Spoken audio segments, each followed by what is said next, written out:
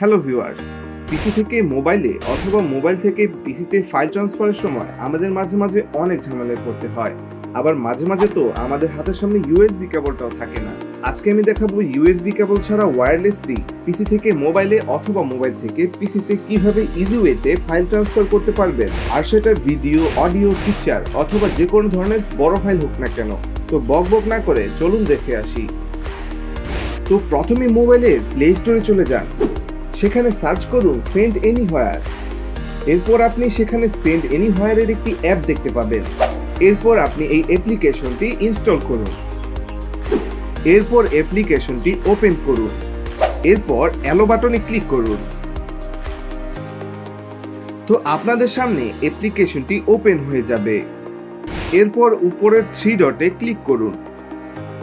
যারপর install ডেস্কটপে click করুন।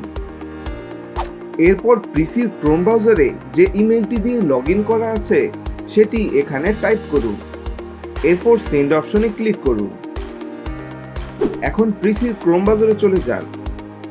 সেখানে জিমেল ওপেন করুন। এখানে আপনাকে একটি ইমেল পাঠানো হবে। তো এই ইমেলটিতে ক্লিক করুন।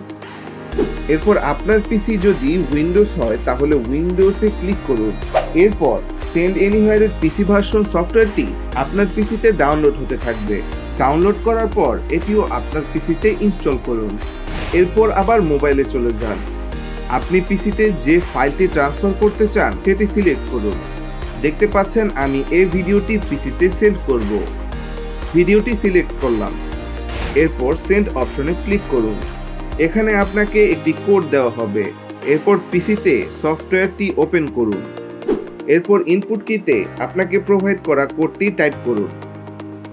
এরপর এন্টারে ক্লিক করুন। এরপর ভিডিওটির ডাউনলোড লোকেশন সিলেক্ট করুন। যার পর ডাউনলোড অপশনে ক্লিক করুন।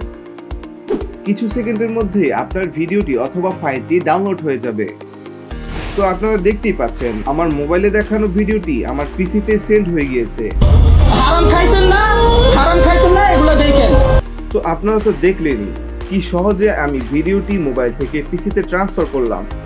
তো এভাবেই আপনারা আপনার মোবাইল থেকে পিসিতে যে কোনো ধরনের ফাইল অডিও ভিডিও পিকচার সহজেই ট্রান্সফার করতে পারবেন। তো ভিডিওটি ভালো লাগলে অবশ্যই লাইক করে দিবেন আর আমাদের চ্যানেলে নতুন হলে সাবস্ক্রাইব করে পাশে থাকা বেল আইকনটি ক্লিক করে রাখবেন। তো আজকের মতো এখানেই বিদায় নিচ্ছি। দেখা হবে নতুন কোনো ভিডিওতে। আল্লাহ হাফেজ।